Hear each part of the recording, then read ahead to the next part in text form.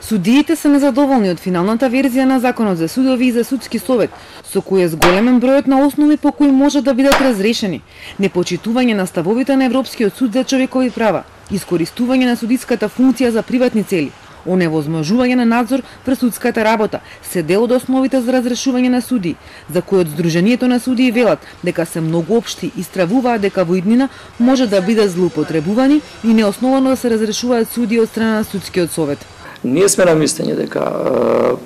непочитувањето на одлуки на и ставовите на Европскиот суд е преширока формулација која возможува растегнување во една или во друга насока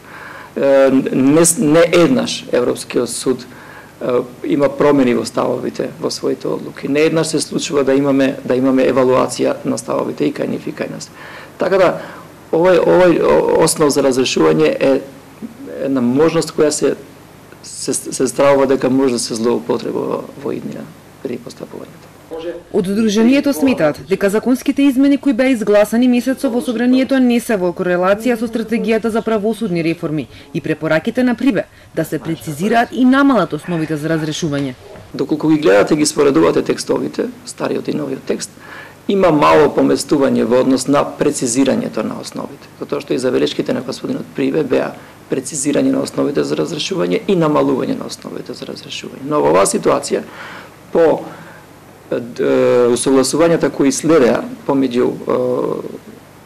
парламентарното мнозинство и опозицијата, а тоа го знам бидејќи јас бев сум член на телото за имплементација на реформите, се случи да се прошират основите за одговорност на судиите, уште со најмалку 3 или 4 основи, кои се сега составен дел на овој текст. Саитија поддржува соработката меѓу власта и опозицијата, но порачува дека крајна цел треба да им биде заштита на независност и стабилност на судството, бидејќи само така се доаѓа до владење на правото и квалитетно судство, од кое ќе бидат задоволни сите што ќе бараат правда.